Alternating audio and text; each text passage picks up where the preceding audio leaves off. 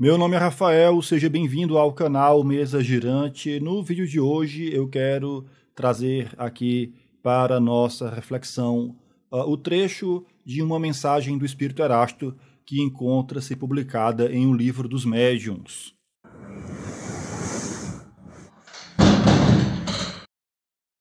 Nessa mensagem nós podemos observar uma proposta do Espírito Erasto que diz respeito a uma postura a ser adotada. E desde já podemos afirmar que, sem adotarmos essa postura, não é possível o espiritismo baseado em Allan Kardec. De maneira que, diante dessa afirmação, nós somos levados a repensar muitas coisas que nos são apresentadas, nós somos levados mesmo também a repensar a nossa forma de lidar com as comunicações dos espíritos. Vejamos o que é que nos apresenta então essa afirmação do espírito Erasto.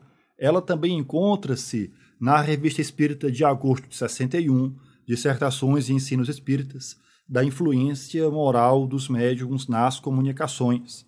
Essa mesma mensagem, como ela se encontra aqui, ela foi reproduzida lá em O Livro dos Médiuns, no item 230, exatamente no capítulo da influência moral dos médiums. Vocês devem ler a mensagem por completo, aqueles que não a conhecem. Eu quero comentar com vocês aqui exatamente esse trecho, que diz: Na dúvida, abstente, diz um dos vossos antigos provérbios. Beleza. Não admitais, pois, senão aquilo que vos é de uma evidência certa, desde que surja uma opinião nova, por pouco duvidosa que vos pareça, por pouco duvidosa que vos pareça, não precisa ser muito duvidosa, não precisa ser muito estranha, basta ser um pouco. Por pouco duvidosa que vos pareça, passai-a pelo crivo da razão e da lógica.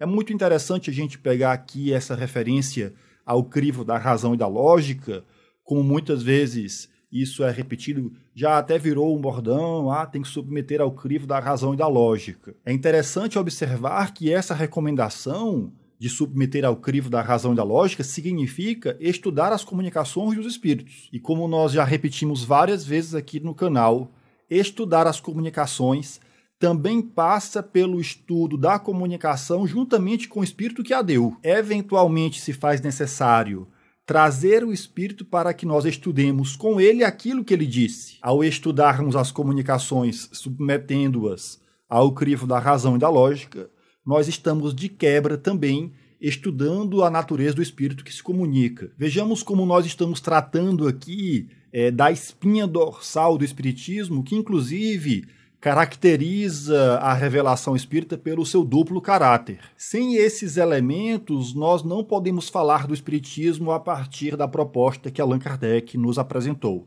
Por isso o texto vai nos dizer: Desde que surja uma opinião nova, por pouco duvidosa que vos pareça, passai-a pelo crivo do estudo. Aquilo que é reprovado pela razão e pelo bom senso deve ser rejeitado firmemente. Vejamos aqui que a postura é de rejeição firme. Em outras palavras, não existe aqui margem para que se falte com a caridade no que diz respeito ao julgamento das comunicações dos espíritos. Esse julgamento tem que ser rigoroso, ao ponto de rejeitarmos firmemente aquilo que não for apresentado de uma forma satisfatória. Ainda no sentido de rejeitar o que é dito, chegamos aqui à máxima que nós queremos explorar a partir desse vídeo. Olha só, mais vale repelir 10 verdades que admitir uma só mentira. Pensemos a respeito dessa recomendação do Espírito Erasto. Mais vale repelir 10 verdades que admitir uma só falsidade, uma só mentira. Sem esse entendimento, não é possível o Espiritismo. Vamos pensar a respeito disso, mas antes que eu me esqueça, porque na verdade eu devia ter falado isso no início, eu quero lembrar você para se inscrever no canal, ativando o sino das notificações e também deixando aí o seu curtir.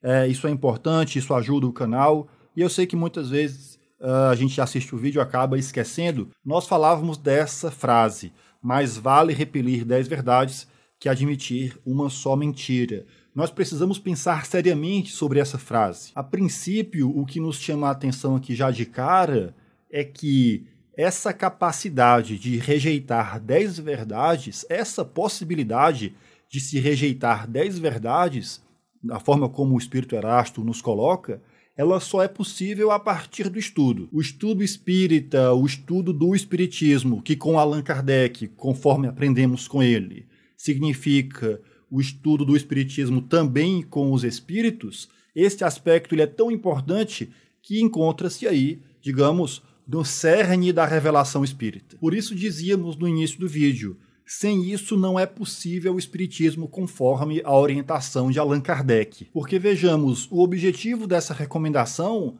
não é que se rejeite dez verdades. O problema aqui é se admitir uma mentira, uma coisa falsa. De maneira que é preferível rejeitar dez verdades do que se admitir uma única coisa falsa, o quanto que essa coisa falsa pode ser prejudicial para a elaboração do conhecimento espírita ou para o desenvolvimento do espiritismo. Porque de fato, o problema e o prejuízo para o espiritismo não está na verdade que foi rejeitada.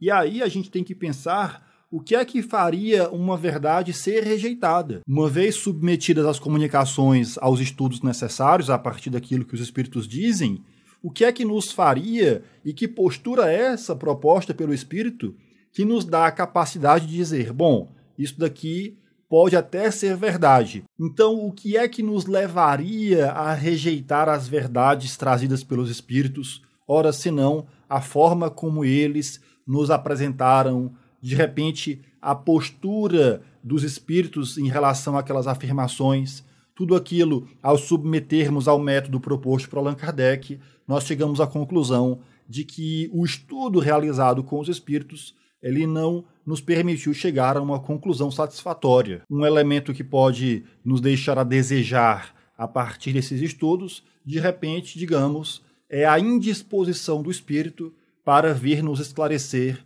dúvidas em relação àquilo que ele disse. Suponhamos que a partir de certas afirmações feitas pelo espírito, nós, ao estudarmos aquela comunicação, é, tivemos ali a possibilidade de encontrar muitos elementos de dúvida que nos permitiram então a elaboração de perguntas que nós temos a intenção de submeter ao espírito. Imaginemos que esse espírito ele se recuse a responder essas perguntas. Imaginemos que por algum motivo esse espírito ele rejeite essa possibilidade, não queira se submeter àquelas questões. Ora, as questões que nós propomos, elas têm por base dúvidas a partir daquilo que o Espírito disse. Se ele se recusa a desenvolver aquela ideia a fim de que nós cheguemos a um entendimento comum, nós não temos a obrigação nenhuma de levar aquelas informações iniciais adiante, porque o nosso conhecimento em torno daquilo não foi é, consolidado a partir do método proposto por Allan Kardec, especialmente se se trata de uma opinião nova, como nós lemos agora,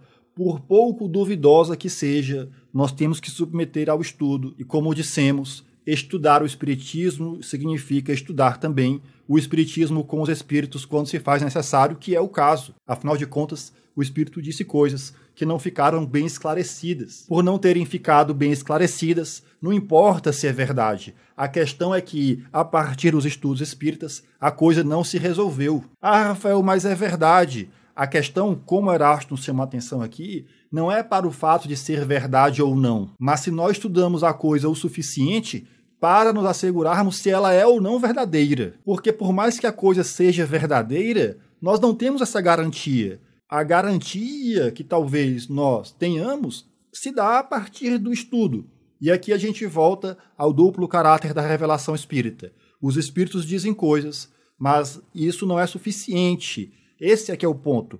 Não é suficiente. É necessário um trabalho da nossa parte. É necessária toda uma elaboração que passa pela proposta de Allan Kardec, pelo método que ele nos apresenta. Sem esse trabalho, não é possível o desenvolvimento da doutrina espírita. Se a coisa é verdadeira ou não, isso vai depender de um trabalho nosso, que também inclui uma disposição dos espíritos em colaborarem com esse nosso trabalho. E isso significa, eventualmente, eles virem participarem dos nossos estudos, responderem os questionamentos necessários em cima daquilo que foi dito. Sem essa colaboração, sem essa disposição a partir dos questionamentos, a partir dos estudos, por mais que a coisa seja verdadeira, ela não foi modelada, trabalhada em conjunto de modo satisfatório, a fim de que nós tenhamos, digamos, uma relativa segurança em cima daquelas afirmações. De maneira que é um absurdo completo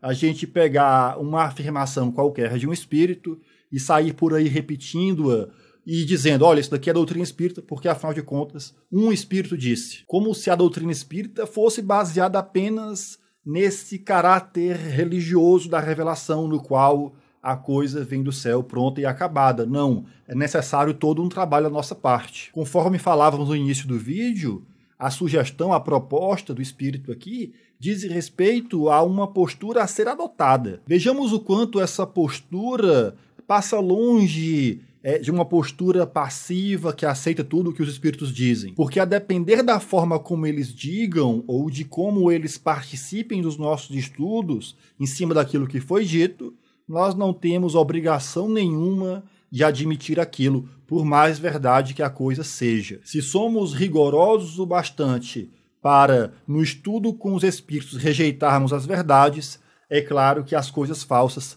também serão rejeitadas. E isso é o que importa. Não aceitar o que é falso, não aceitar o que é mentira. Diante desse quadro aqui que nos é apresentado, me parece inevitável, de repente, nós passarmos em revista todos os conteúdos que nós tivemos contato a partir da literatura espírita brasileira. Quando em outros vídeos nós falamos e repetimos, por exemplo, que a obra de Chico Xavier ou de Divaldo Pereira Franco é, são conteúdos que não foram submetidos ao controle do ensino dos espíritos, é porque esses conteúdos passaram longe de serem submetidos a estudos que têm por base essa proposta de Allan Kardec. Ah, não, Rafael, eu discordo de você. Essas obras foram sim submetidas a um controle.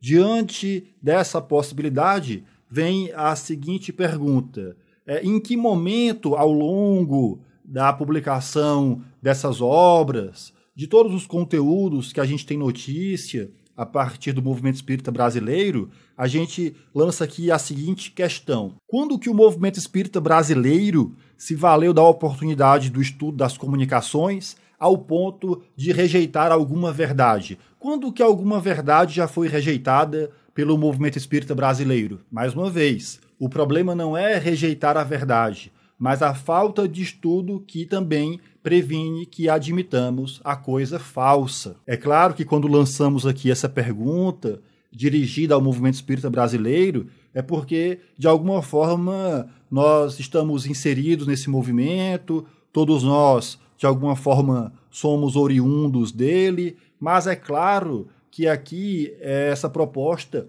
ela tem um sentido pessoal, ela tem uma importância muito grande para todos nós que nos dedicamos à obra de Allan Kardec, nos dedicamos ao espiritismo prático, a partir do estudo da mediunidade, a partir do estudo das comunicações dos espíritos. Portanto, essa reflexão aqui diz respeito a todos nós. Beleza, pessoal? Então, eram essas nossas reflexões a partir dessa mensagem do Espírito Erasto, desse trecho da mensagem dele. É isso. Até um próximo vídeo. Valeu!